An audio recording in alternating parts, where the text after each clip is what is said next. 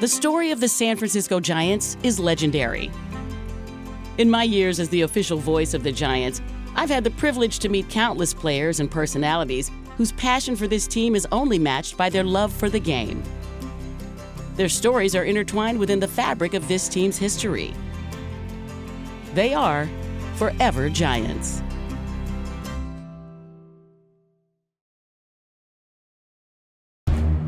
Marvin Benard's journey to the majors was far from easy. At the age of 12, his family fled war torn Nicaragua for a better life in the States. As he struggled to adjust to life in a new country, he found solace in the game of baseball. The NAIA All American, who helped Lewis Clark State College to the national title, was taken in the 50th round of the 1992 draft by the San Francisco Giants. Benard hits one high. He hits it deep. He hits it out of here. The eventual Willie Mac Award winner played his entire career with the organization, becoming a leader on a squad that would go on to the 2002 World Series.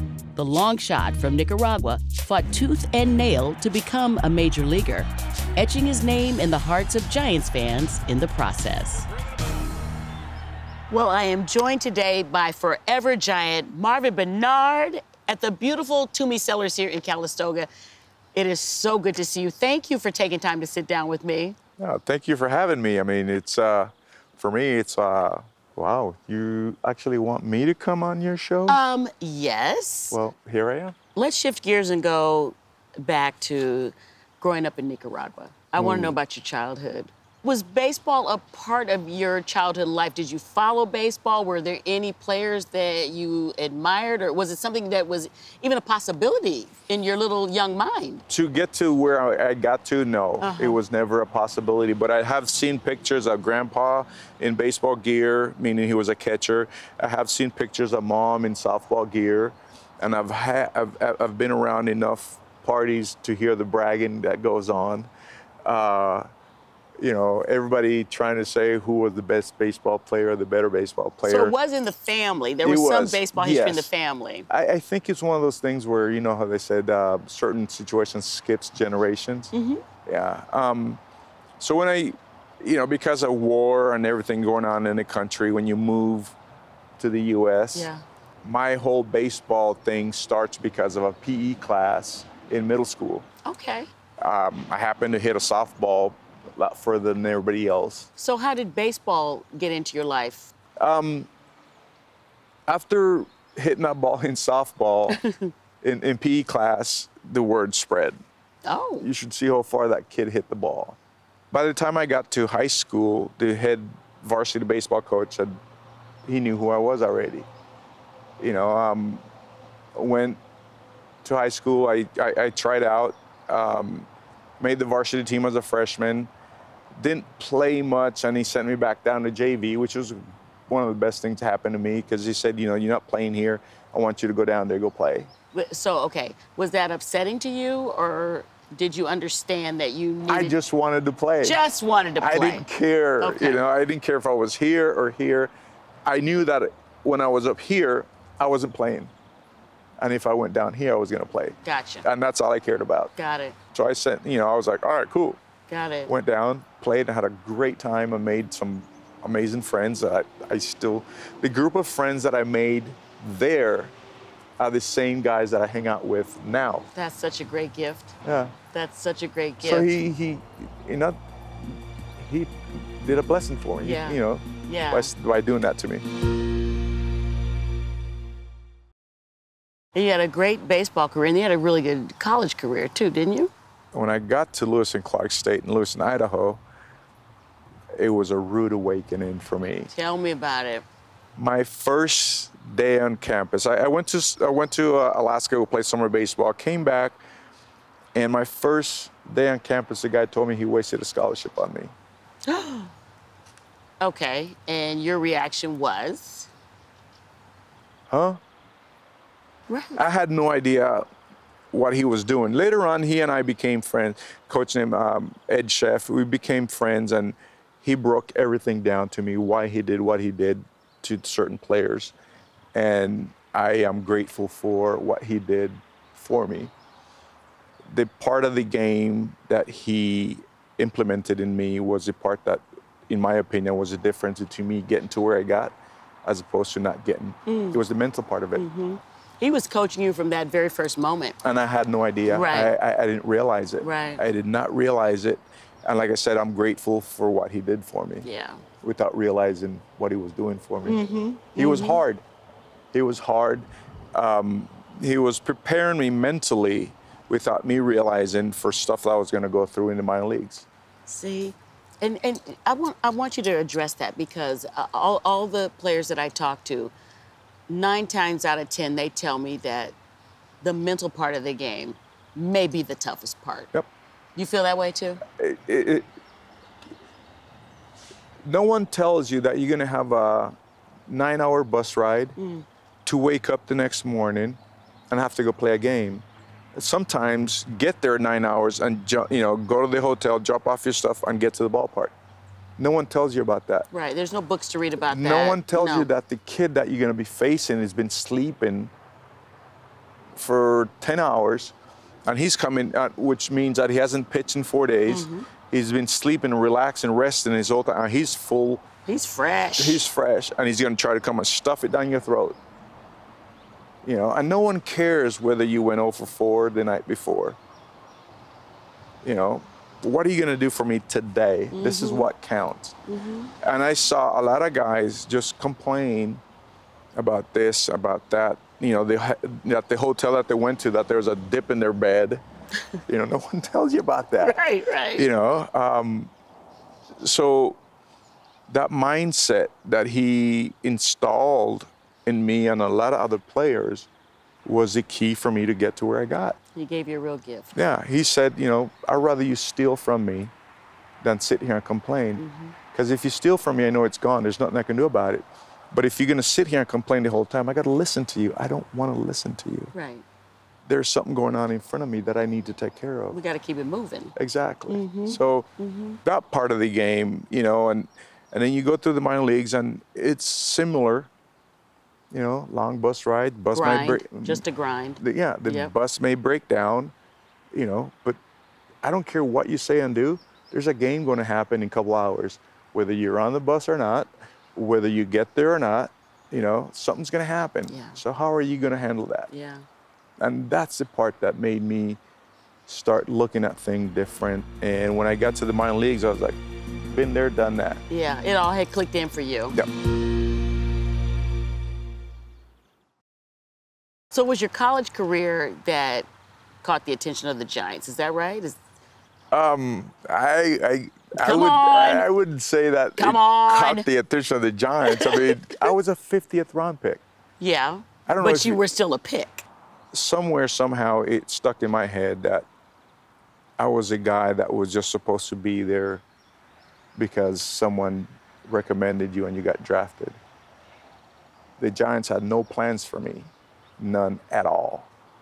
I was a guy that was going to play maybe one year, maybe another year, and then that's it. So Yeah. you felt maybe less pressure or uh, felt you had something to prove? something to prove. So then I go from 92, where I didn't play much, to 93 in Clinton, Iowa, and another one of those steps in the in that ladder mm-hmm. was a guy named a minor league coach named Jack Moe. Okay. Jack Moe came up to me in spring training and told me that I would be on the team no matter what, unless he got fired or died, that I would be on the team. And he stuck with me. I mean, there's times I couldn't hit water if I fell out of a boat. I couldn't do anything right, But he had your back. but he had my back. Yeah. Um, when the season's over, I, I went up to him and said, I just want to say thank you. I said, that, you know, there's times I had no confidence in myself, uh, and you stuck with me. And he looked at me and smiled and he said, You made me look like a effing genius. you know, because when the season's over, I had a great season. Uh huh.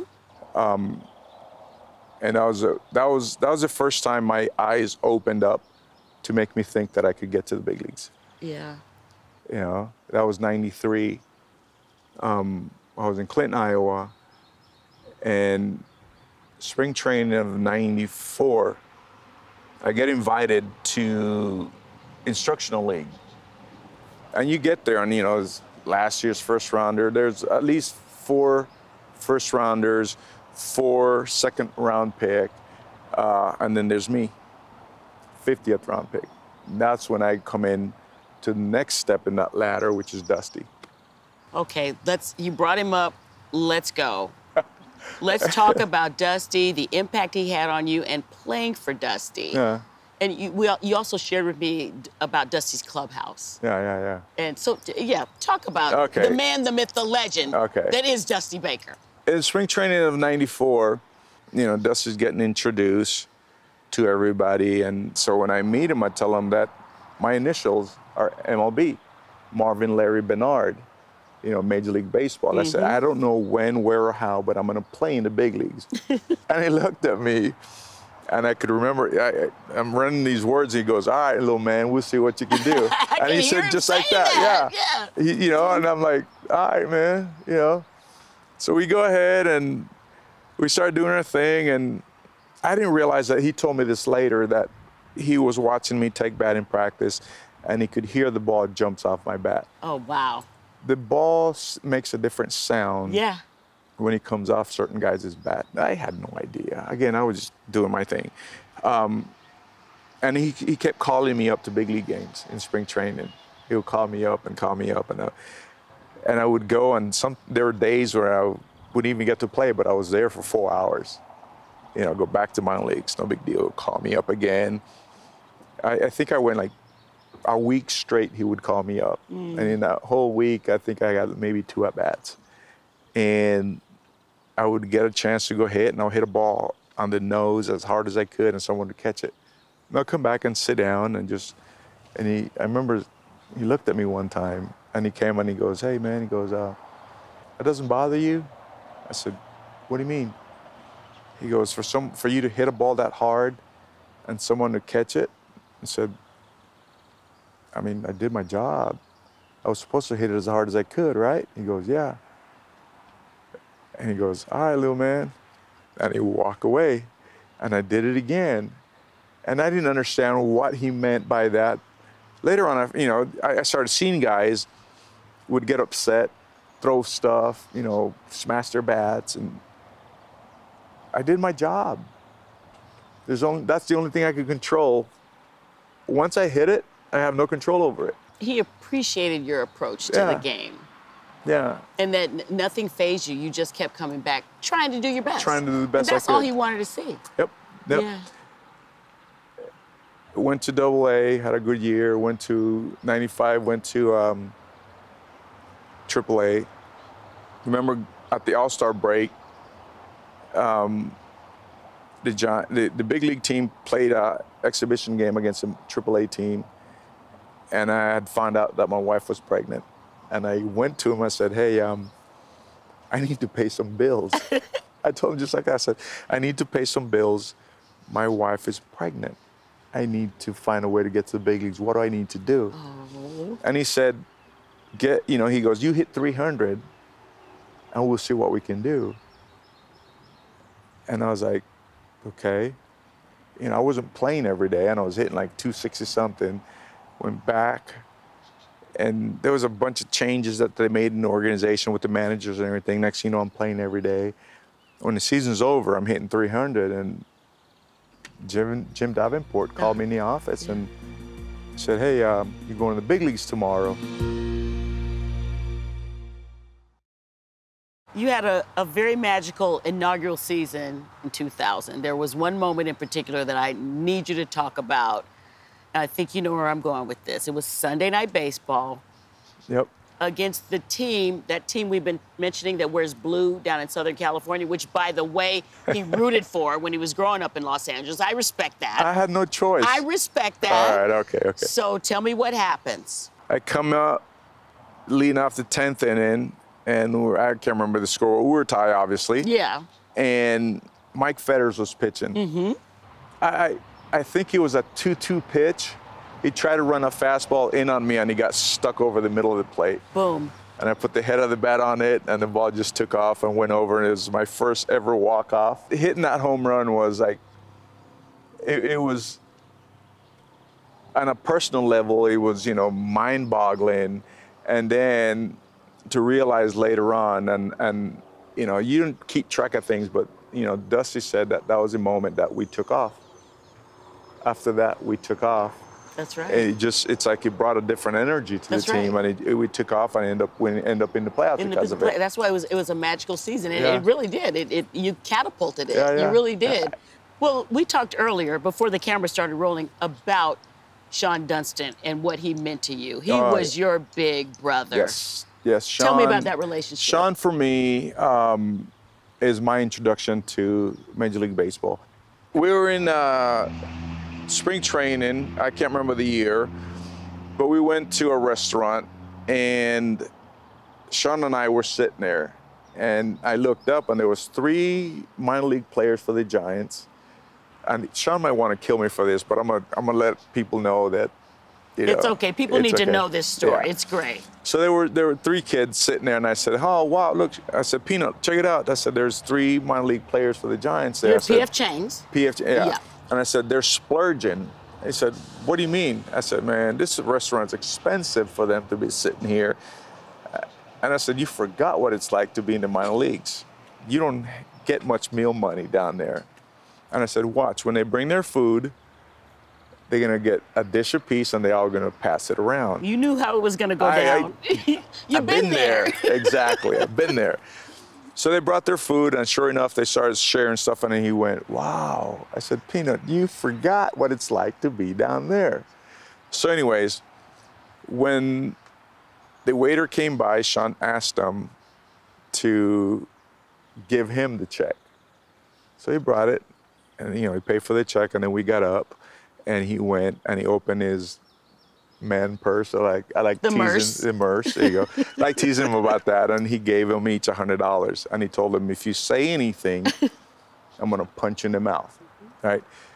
The reason I say that is because everywhere I went with Shawon and I would run into an ex-teammate of his, veteran guy, they would always say the same thing: make sure he pays, right? Because he, for whatever reason, they said he was cheap, but Shawon was never cheap. Shawon just looked at you depending on where your pay scale was, and if your pay scale was where his was or above, we're gonna split this. If you're below, I'll take care of it. You know, um, and that that you know that's that's Shawon. Right. So I asked him one time. I said, "Peanut, what's the deal? Why?" He said, "Well, when I was a rookie in the big leagues, Lee Smith took care of me. He put a down payment on my apartment." And I, you know, to think about someone to put a down payment on your apartment, it's mind-boggling. Yeah. Um, you know, but L- when he tried to pay Lee Smith, when he started making money, tried to pay him back, Lee Smith said, "Don't pay me back, pass it along." You know, so And that's what he's done. exactly. So when once you get to where you were, you try to do the best you can to let it trickle down. Yeah. So talk to me about the transition from being a player to the broadcast booth. Was that challenging for you or did it come kind of come naturally for you? I don't shut up. I'm always yapping away. So I thought it was going to be easy, just go and yap away. Oh, until I got in the booth and I started realizing that the way you yap around with your friends and your buddies is not the same way you're gonna yap around on the radio. okay. So at first I was a little bit tongue tied and I started realizing that the more I did it, and Erwin told me this early, he goes, you'll get your, you, you find your style and you find your tone and you'll find how do your, how your flow goes. Mm-hmm. Um, He's a good coach, right? Yes, it made it easy. Yeah. It, you know, which I want to back up and say something. And you know, you never know who you're gonna run into, when you're gonna run into, in the front and in the back. And what I refer to that is, I met Erwin uh, Candlestick, and then we came over to the new ballpark, right at AT&T, and I, I had a great relationship with him. He would come down, he would ask, and I, I was always there for him. You know, whatever he asked, I try to help. Well, when Tito decided that he can't travel anymore because of his knees, they had to find someone to replace and do those road games. and my name popped up. So if I would have been a jerk to Erwin, my name would have never came into the whole thing. So true. Yeah, and and that's one of my thing. I, I always think about who am I meeting, where am I meeting them, and how to treat that person. You know, apart from you know what could come out of it. You know, you just treat people like they're human beings because ultimately you want to get treated that way too. Absolutely. But anyways, coming back to the whole thing, Erwin um, called me up and said, "Hey, would you be interested in doing some road, you know, road game? Tito can't travel anymore." And I was like, uh, "Sure, why not?" Did you were you immediately all in, or did you have any hesitation, or? I was all in with hesitation. Okay. you know, you got people who drive in the street with two foot, right? One's on the gas, one's on the brake. okay. That was me. That was me. Um, and as time's gone by, this is my third year. Uh, it's been it's been amazing, um, and there's been more. I've been getting more and more involved. Where where I get caught up is when I start thinking about a particular particular players that are players that are similar to myself.